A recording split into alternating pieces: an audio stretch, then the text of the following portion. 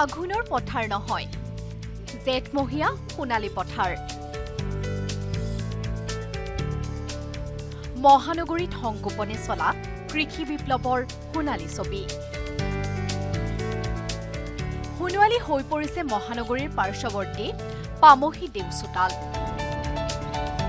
ৰাসায়নিক দ্ৰব্য সাৰ ব্যৱহাৰ নকৰাকৈ পাঁচ বিঘা ভূমিত এডল স্থানীয় খেতিয়কে খেতি কৰিছে বড়ো ধানৰ।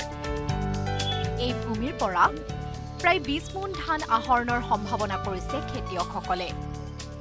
আলিয়াই ৰিগাঙৰ সময়তে পামহিত একাংশ স্থানীয় কৃষকে সিঁচিছিল বড়ো ধানৰ শস্য।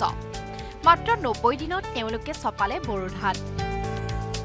আদৰ্শ খেতিয়ক বলোৰাম ৰংপিৰ সৈতে দাৱনীসকল এতিয়া ব্যস্ত শস্য চপোৱাত। নৱেম্বৰ এক তাৰিখে মই আমি গছা দিছিলোঁ। এতিয়া তিনিমাহ ডেৰ চাৰি তিনি মাহত কামটো হৈ যায় কাটিব পৰা হৈ যায়। কোনো সাৰ ব্যৱহাৰ নাই আমাৰ এনেই নেচাৰেল আৰু আমাৰ কোনো সাৰো ইউজ কৰা নাই। পাঁচ বিঘা মাটিত মানে বড়ো ধান খেতি মই কৰিছোঁ। ধান চপোৱা হোৱাৰ পিছত একোডৰা ভূমিত তেওঁলোকে কৰিব অন্য খেতি। উল্লেখযোগ্য যে পূৰ্বৰে পৰা তেওঁলোকে কৰি আহিছে বিভিন্ন প্ৰজাতিৰ ধানৰ খেতি শাক পাচলিৰ খেতি। বশিষ্ঠৰ পৰা Utpal Haloi report news eighteen Assam north east.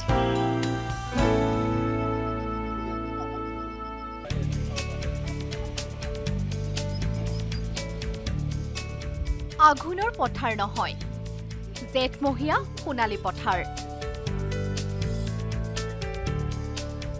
মহানগৰীত সংগোপনে চলা কৃষি বিপ্লৱৰ সোণালী ছবি। সোণোৱালী হৈ পৰিছে মহানগৰীৰ পাৰ্শ্বৱৰ্তী পামহি দেওচোতাল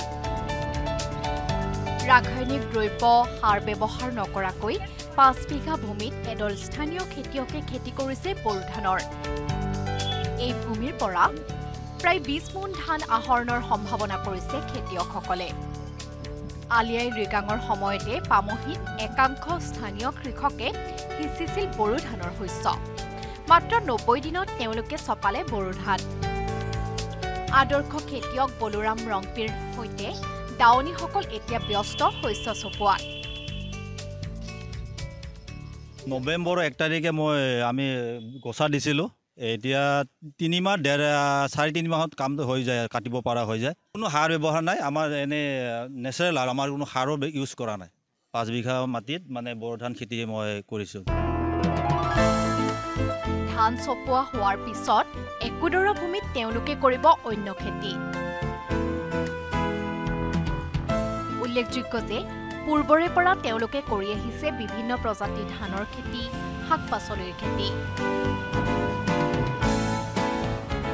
বশিষ্ঠৰ পৰা Utpal Haloi report news eighteen Assam north east.